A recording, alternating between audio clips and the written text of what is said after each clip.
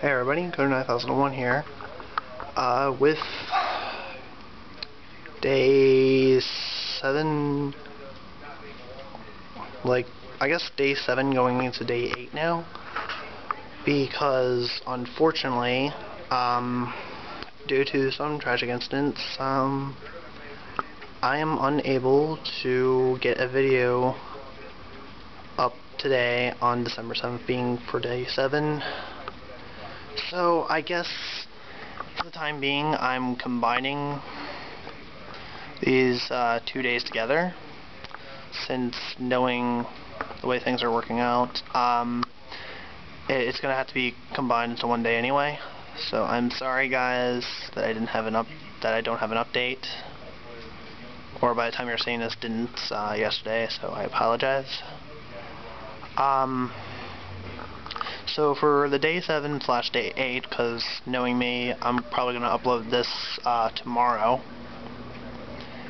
Um, we're going to combine the topics that I was going to cover. Um, the Oracle games and the CDI games. Now, the Oracle games were on the Game Boy Color, and initially, coming out of Japan, there was a plan for three games to actually be released, um, each being a different part of the Triforce, hence why seasons and ages have a certain color to them.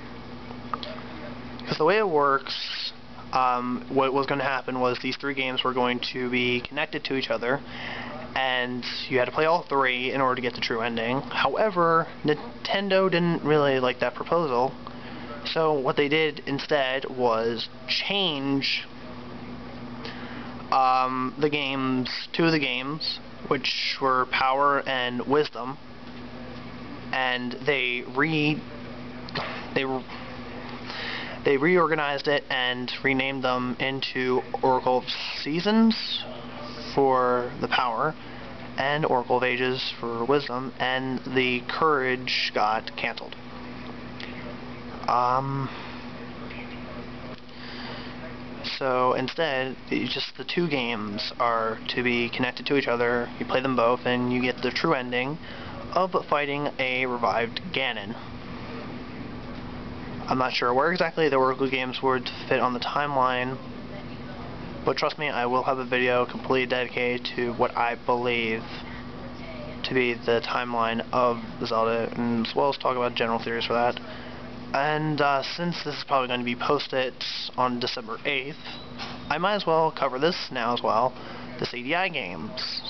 Just getting a little ahead of schedule uh, a bit. With uh, the CDI games, um, what happened was uh, the CDI was developed by a company, Philips, who, um, along with Sony, worked with Nintendo and there was initially going to be an, a CD expansion to the N64. However, both Philips and Sony decided to go off on their own and make their own uh, systems.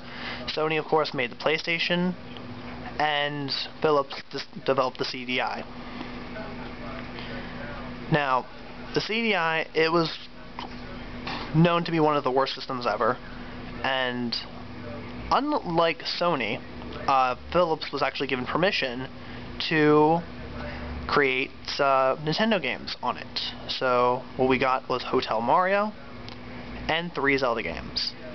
Now the Zelda games were Wand of Gamelon, uh, Link and the Faces of Evil, and Zelda's Adventure. And two of those games you could play as Zelda and your quest is to save Link. Unfortunately, these games are not really meant to be talked about, but since it's Zelda month, I have to cover it a little bit. Um, you can check out Angry Video Game Nerd on his review of the Zelda CDI games, just how awful they are. And that will be it. Hopefully I see you guys tomorrow, or when you're seeing this tomorrow from then, on December 9th, for day 9 and get back on schedule. See you guys then. Goodbye.